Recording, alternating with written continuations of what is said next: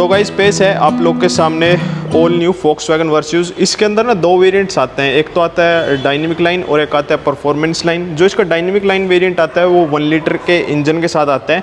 Automatic और manual transmission दोनों मिल जाता है। बट ये सिर्फ़ ना पेट्रोल इंजन के साथ ही अवेलेबल होती है। और जो इसका परफॉर्मेंस लाइन आता है, वो इसका top of the line variant है। वन लीटर का इंजन आता है उसके अंदर। और वो सिर्फ़ आप लोग को ऑटोमेटिक ट्रांसमिशन मिलता है, जो कि सेवन डी के गेयर के साथ में आता है। तो गाड़ी का रिव्यू इसके की फोप से स्टार्ट करते हैं। तो इसके अंदर आप की देखोगे तो कुछ इस तरह की मिलती है लॉक अनलॉक और इसकी टेल गेट को ओपन करने के लिए। ये फोल्डेबल की इसके अंदर आती है। बट ना, यहाँ पे आप लोग को जो है कीलेस एंट्री भी मिल जाती है। जैसे आपने स्कोडा की कुशैक में देखा होगा टाइगून में देखा होगा तो उन सभी में बिल्कुल यही की आती है, सिर्फ़ लोगों का ही फ़र्क आता है और ये फोल्डेबल ही की इसके अंदर में अवेलेबल होती है।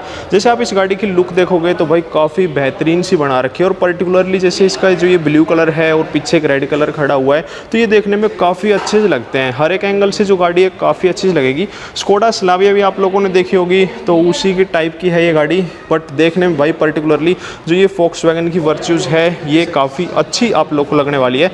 अब गाड़ी में फ्रंट प्रोफ़ाइल से स्टार्ट करते हैं कि क्या क्या चीज़ें इसके अंदर अवेलेबल हो जाते हैं। तो लुक का तो भाई मैंने बता दिया, बहुत बढ़िया सी है और जैसे बोनट की लेंथ भी दे रखी है, अच्छी बड़ी दे रखी है। तो प्रॉपर एक जो सैडान वाली फीलिंग है ना, मस्त वाली सैडान वो वाली इसके अंदर फीलिंग आने वाली है। आप लोग को प्रीमियम सैडान जिसे हम बोल सकते हैं।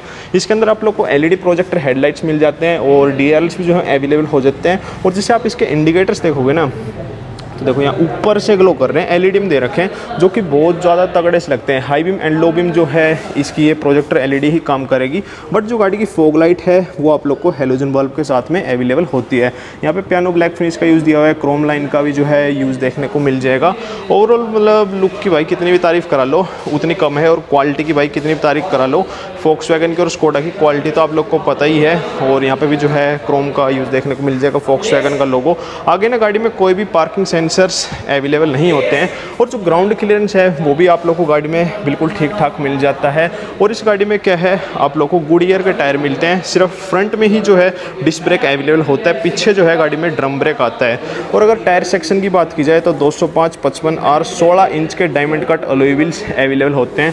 फोक्स का जो है लोगो दे रखा है। ग्राउंड क्लियरेंस भाई, ऐसे देखने में काफ़ी सही सा लग रहा है। बिल्कुल बढ़िया है। और जो ओ है, इसके इलेक्ट्रिकली एडजस्टेबल एंड रिट्रैक्टेबल दोनों फ़ंक्शन के साथ में अवेलेबल हो जाते हैं। अगर गाड़ी को मैं ऑफ़ करता हूँ।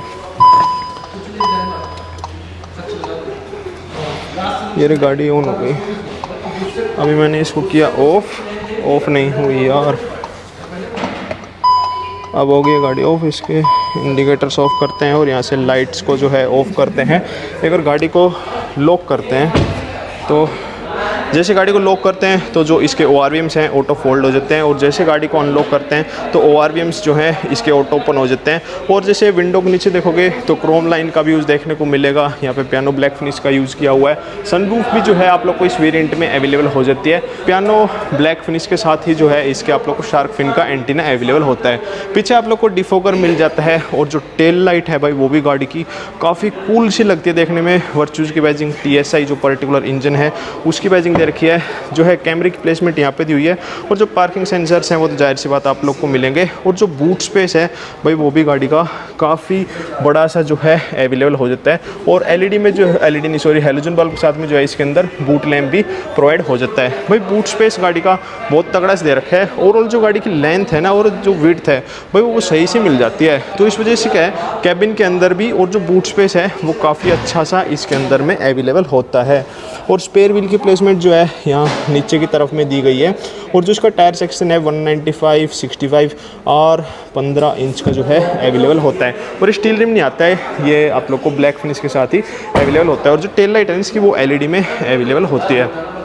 फ्यूल लीड जो है यहाँ पे राइट साइड में दी गई है, जो कि बाहर से ही ऐसे दबाने से ओपन हो जाती है। अभी गाड़ी के इंटीरियर्स में बात करते हैं कि क्या क्या चीज़ें मिलती हैं।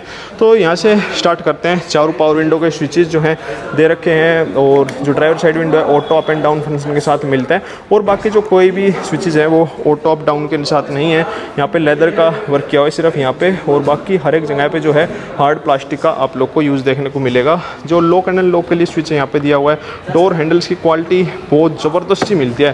क्वालिटी भाई गाड़ी में बहुत तगड़ी सी है। लेदर की सीटा पोल्स्ट्री जो है गाड़ी में मिल जाती है। हाइट एडजस्टेबल सीट्स सीट जो है इसके अंदर अवेलेबल हो जाती है। और जैसे यहाँ पे देखोगे तो ये लाइट के लिए कंट्रोल दे रखा है इसमें। और ये लाइट लेवलिंग के लिए मतलब ऑन ऑफ़ के लिए सारा ये दे रखा है। और ये लाइट लेवलिंग के लिए इसके अंदर दे रखा है। जो गाड़ी का स्टेयरिंग व्हील है फ्लैट बॉटम मिलता है। और जो फोक्स वगैरह का नया लोगो ना, काफ़ी स्लीक सा, बहुत तगड़ा सा लगता है। इस साइड में दे रखे हैं भाई। इसके क्रूज़ कंट्रोल जो हैं, वो इस साइड में दे रखे हैं और ये दे रखे हैं इसके वाइपर के कंट्रोल और इस साइड में दे रखे हैं इसके इंडिकेटर के कंट्रोल। लाइट के थे वो इस साइड में थे और टच स्क्रीन का रिस्पॉन्स ज़बरदस्त इसके अंदर मिलता है। टेन इंच की इसके अंदर टच स्क्रीन डिस्प्ले आती है, बहुत तगड़ा सा है। Android Auto Apple CarPlay की कनेक्टिविटी मिल जाती है और सिंगल जोन ही इसके अंदर क्लाइमेट कंट्रोल आप लोग को मिलता है। वायरलेस चार्जिंग जो है, गाड़ी में गाड़ी में मिल जाती है। वेंटिलेटेड सीट्स मिल जाती है driver side as well as co driver side में। इंजन स्टार्ट स्टॉप का स्विच जो है यहाँ पे दे रखा है और ये आप लोग का आइडल इंजन ऑन ऑफ़ का स्विच दो ग्लास होल्डर मिल जाते हैं ट्वेल्व वोल्ट का शॉक किट आर्म रेस्ट जो है इसके अंदर स्लाइडिंग अवेलेबल होता है, जिसका साइज़ काफ़ी सही मतलब ठीक है, गाड़ी के हिसाब से बिल्कुल ठीक सा मिलता है। और हर एक जगह पर ऊपर नीचे यहाँ पे यहाँ पे कहीं पर भी मतलब हर एक जगह पे हार्ड प्लास्टिक का इसके अंदर यूज़ देखने को मिलेगा। जो गाड़ी के आईआरवीएम है, वो इलेक्ट्रोक्रोमिक मिलते हैं आप लोग को। और जो सनरूफ है भाई, ठीक है यार, गाड़ी के हिसाब से देखे जाए ना, बिल्कुल ठीक ओपनिंग इसके अंदर हो जाती है। तो मज़ा आएगा भाई इस गाड़ी को ड्राइव करने में सनरूफ खोल के एक नंबर चलाने में, एक नंबर का मज़ा आएगा। पैसेंजर साइड सनवाइज़र में सिर्फ़ टिकट होल्डर दिया हुआ है और ड्राइवर साइड सनवाइज़र में जो है मिरर दिया हुआ है। ग्लो बॉक्स आप लोगों को कुछ इतना साइज़ का जो है इसके अंदर अवेलेबल होता है। और जो इसकी इंस्ट्रूमेंट क्लस्टर है ना, वो भाई फुली डिजिटल मिलती है। अगर मैं इसके कंट्रोल्स की बात करूँ कि कहाँ से होते हैं तो और जो गाड़ी का इंस्ट्रूमेंट क्लस्टर है, वो यहाँ से कंट्रोल होते हैं। देखो, मैं ऐसे कंट्रोल करने लग रहा हूँ। यार, मेरे को फ़ोन में देख, देखते ना, इसे पता नहीं चल रहा। तो यहाँ से कंट्रोल होता है वो सारी चीज़ें आप लोगों की। और जो इसके जैसे देखोगे ना, ये आपको हवा मंदी तेज करने के लिए स्लाइडिंग में दे रखे हैं, जैसे कि कुशैक में आते हैं। अब भाई, गाड़ी में कंफर्ट की बात कर लेते हैं कि कैसा, क्या इसके अंदर अवेलेबल होता है। पहले तो भाई सीट को मैं पूरा ऊपर कर लेता हूँ। अगर इस गाड़ी में कंफर्ट की बात की जाए तो भाई, देखो विजिबिलिटी वगैरह बहुत ज़्यादा अच्छी से आ जाती है। पूरी सीट को ऊपर करने के बाद ना तो तो भाई ऐसे ऐसे महसूस होता है कि जो हेड ऊपर टच हो गया, बाकी थोड़ा सा नीचे करके चलाएँगे ना तो भी एक कंफर्टेबल सी पोजीशन है और जो विजिबिलिटी वगैरह है, वो भी गाड़ी में काफ़ी अच्छी सी आ जाती है और जो डोर को बंद करते हैं ना भाई साहब, क्या क्वालिटी की सी आवाज़ आती है उसके अंदर से? बहुत तगड़ा से लगता है। तो गाड़ी को ड्राइव करोगे ना, ऐसा लगेगा हाँ भाई आप एक जो गाड़ी है पूरी सेफर चला रहे हो। सीटों की चौड़ाई बकेट फिटिंग वगैरह अंडर थाई स्पोर्ट वगैरह लेग रूम बहुत मस्त सा इसके अंदर मिलता है। और गाड़ी के अंदर कुछ इस तरह का जो है, आप लोग को हॉर्न अवेलेबल होता है। अभी गाड़ी की सेकंड रो में कंफर्ट की बात करते हैं कि कैसा क्या अवेलेबल होता है। देखो फ़र्स्ट रो की जो ड्राइवर साइड सीट थी, मैंने अपने हाइट के अकॉर्डिंग एडजस्ट कर रखी थी। अभी सेकंड रो में बात की जाए तो भाई साहब, सबसे मस्त तो है इसका जो रेक्लाइनिंग एंगल है और जैसे कि सेकंड रो में भी आप बैठते हो ना तो ऐसा महसूस होता है जो सीट्स हैं ना भाई, इन्होंने बकेट फिटिंग से कर लिया पीछे से हगसा कर रहे हैं। तो एक नंबर के मज़े से आ रहे हैं। दो बंदे तो गाड़ी के अंदर बहुत ही ज़्यादा कंफर्टेबल होकर बैठ जाएँगे। तीन इसके अंदर एडजस्टेबल हेड है आर्म रेस्ट भी है आइसोफिक सीट्स भी है और आर्म रेस्ट में दो कप होल्डर्स भी हैं और यहाँ पे देखोगे तो आप लोग को एयर के वेंट्स मिल जाते हैं। दो सीट टाइप इसके अंदर शॉकेट्स भी दे रखे हैं स्पीकर की प्लेसमेंट ट्विटर एंड यहाँ पे आप लोग को जो है बोटल कैरी करने के लिए होल्डर मिल जाता है। एलईडी में जो है रीडिंग लैंप्स यहाँ ऊपर की तरफ़ में अवेलेबल हो जाती है। ओवरऑल भाई ये है सेकंड रो का जो कंफर्ट है ना, बहुत ही ज़्यादा बेहतरीन इसके अंदर मिलता है। और जो हम्प है, पहले फॉक्स गाड़ी में क्या रहता था? जो हम्प है थोड़ा उठा हुआ रहता था तो इतना कंफर्टेबल सी पोजीशन नहीं आती थी। बट इसमें हम्प है काफ़ी नीचे से नीचे से दे रखा है। मतलब जैसे नॉर्मल और गाड़ी में आता है, उतना ही दे रखा है। तो यूँ है, बीच वाला बंदा भी जो बैठेगा ना, वो भी कंफर्टेबल होकर बैठ जाएगा। बट बीच वाले बंदे के लिए थोड़ी सी अंडर थाई स्पोर्ट वही कम सी हो जाती है, और जो पीछे से थोड़ा सा हार्डर साइड सा हो जाता है इसके अंदर। और बाकी गाड़ी में उतरने में और बैठने में ऐसे कोई भी दिक्कतें नहीं आती है। सेडान क्लास है, थोड़ा सा तो आप लोग को जो है इन चीज़ों में देखना पड़ेगा कि उतरने में, बैठने में दिक्कतें आती हैं फिर नहीं आती है। तो गाइज़ ये है वन लीटर का इसका पेट्रोल इंजन है टर्बो चार्ज जो कि 114 बीएचपी एंड 178 एनएम का टॉर्क जो है प्रोड्यूस करता है। सेम जो इंजन है टाइगुन वाला ही इसके अंदर उठा के फिट कर दिया गया है।